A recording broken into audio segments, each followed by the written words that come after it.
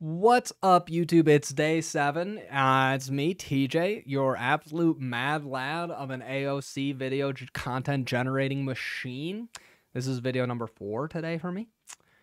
I've already finished these. I didn't solve all of these today, just to be clear, although it would have been sweet if I was that smart, but that's fine. Today, we're working on day seven. Let's get right to the code. So, in this problem, you're effectively given some locations, and what you want to do is you want to find the location that is the minimum cost for all of the crabs at each of these spots to line up. Now, it's good that this is a crab problem because we're using Rust. I could use more crab problems. I'm just saying crab engineering equals Rust solve, easy peasy.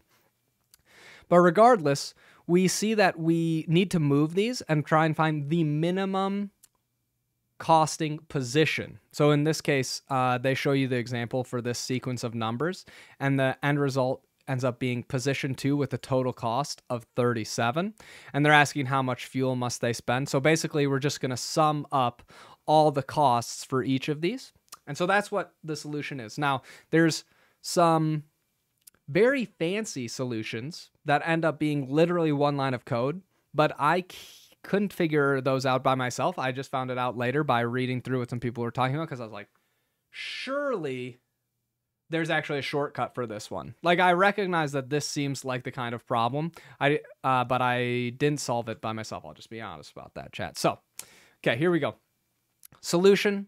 We're gonna split the line. Seven dot example looks kind of like this. It's just a list of numbers. So we're gonna get all those numbers, put them in a vector. What I did was I found the minimum number and the maximum number and I searched a binary, tr- basically a binary search of the cost, and I used a binary search on the list of my items. So what's kind of weird here that you might not understand on first glance is that for cost in part one, part two, the only difference between part one and part two is the cost sort of calculation. So I made two different functions that both look like this. They take a puzzle that takes in the vector, the puzzle itself, right, and the destination, and then it calculates the cost. For part one, it's literally just the sum of all the distances that need to be traveled. So you can just calculate that out by iterating over the puzzle, folding it down with the distance, and, and adding the accumulator.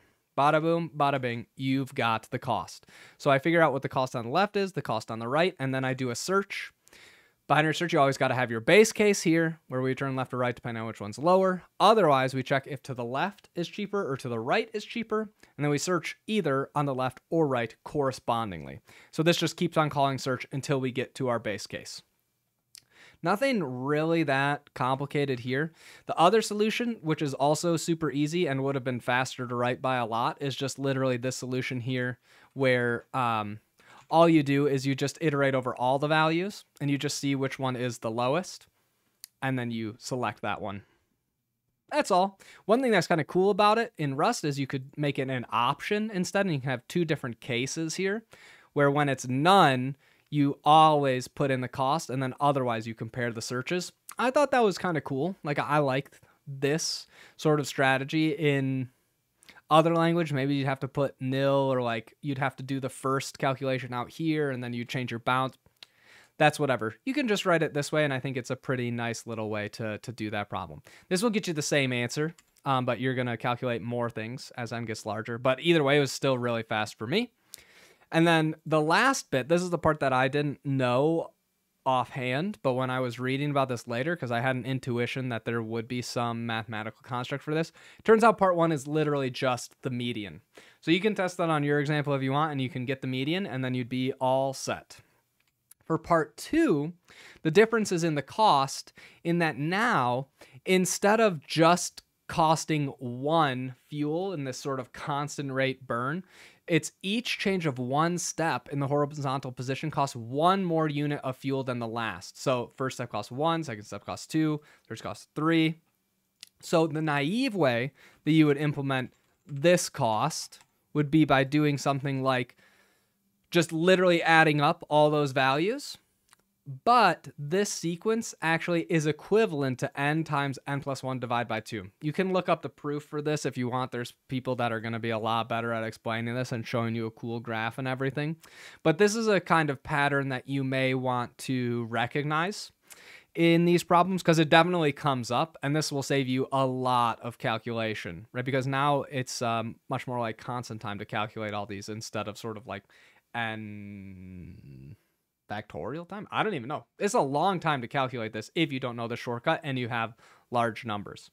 So when you do it this way, you can do exactly the same thing for my code because I just accepted that a different cost function could get passed in in the search. You could do exactly the same thing here. You just switch which cost it is. And it turns out that for part two, you the mean is effectively the best way to search for it. The problem is the mean isn't guaranteed to be an integer.